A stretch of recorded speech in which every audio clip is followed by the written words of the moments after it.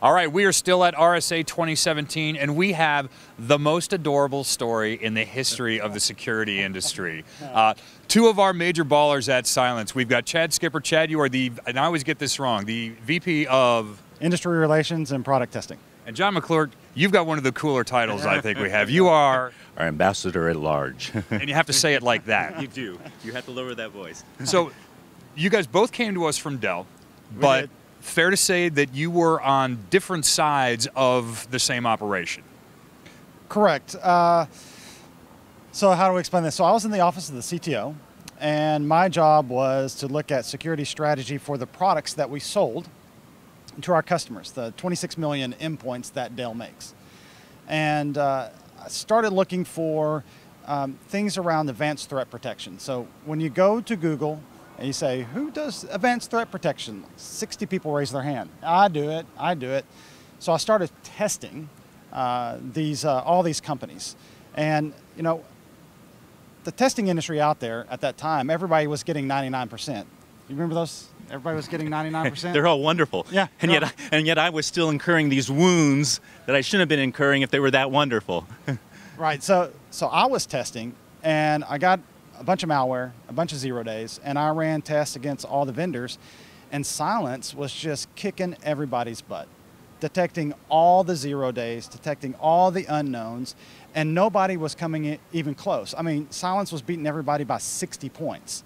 And of course, I go talk to Jeff Clarke about it. I tell him I've never seen anything like this in my entire 25 career. So I started talking to Dell IT.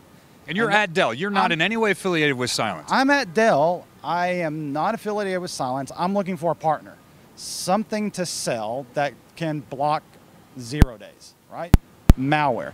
So I then began to, you know, talk to all the executives inside of Dell to include Dell IT, where John McClurg was the chief security officer. So I'm talking to his guys all about this, and And I'm focused on the battle at hand. I've got actual APT coming at me.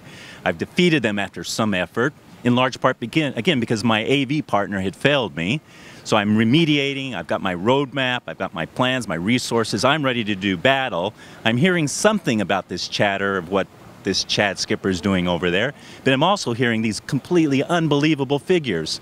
I've lived with AV that can only deliver 20%, 40%, but this 99.7%, that's that's BS. I, I, I'm not going to be distracted by that.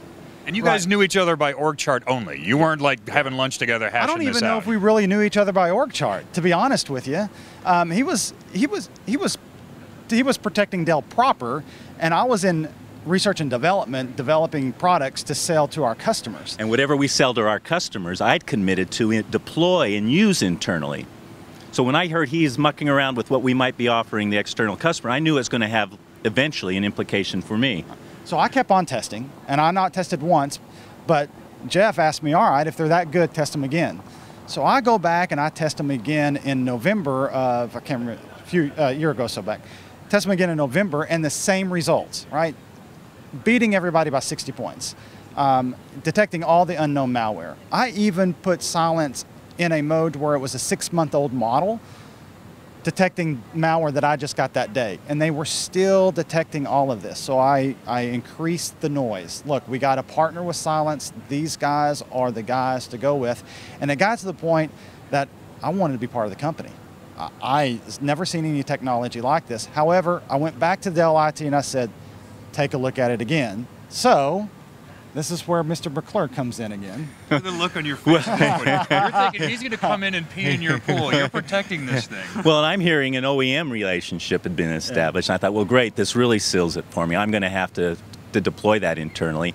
I've got my roadmap, I've got my plans, I've got my resources. So I grabbed my curmudgeons, my security architect. I says, look, go get this solution, take it back in our lab, run what defeated us recently against it, and when it fails, come back and tell me that.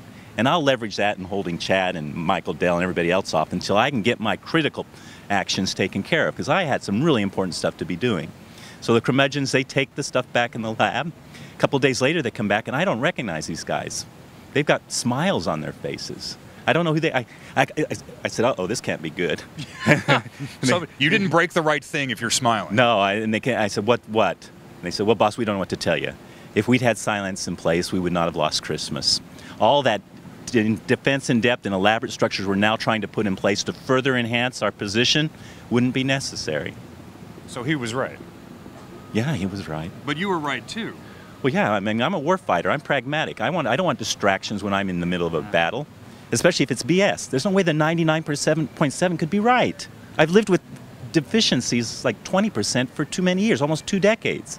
So now the adorable part comes. you guys both happily ensconced in your ivory towers at Dell. You figured that this stuff, it works. Maybe we'll do something with this company, this interesting little startup out of Southern California. And then Well, you know, uh, January of 20, January 1st, 2016, I was sitting on the couch. I was watching football games, contemplating my future. I was like, I got to be part of Cylance. I know I have a great job with Dell. Something about the technology was just pulling me over. I've never seen anything like it.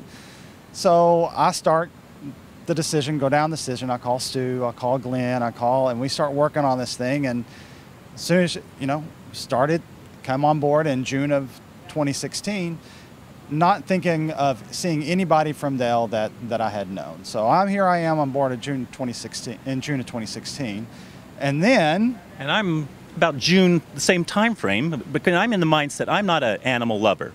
I want to kill the groundhog. By that I mean I've been living in groundhog world for years, repeating every every experience over and over again. I want to see the groundhog dead. and, and, and I'm, I'm the type of guy that i was tired of sacrificing the lambs to the wolves when it came to av i finally found a company that you didn't have to have any more sacrificial lambs so we got the hippie and the hunter. He loves the animals. I want to kill it. Yeah, there you go. so here we are at Black Hat.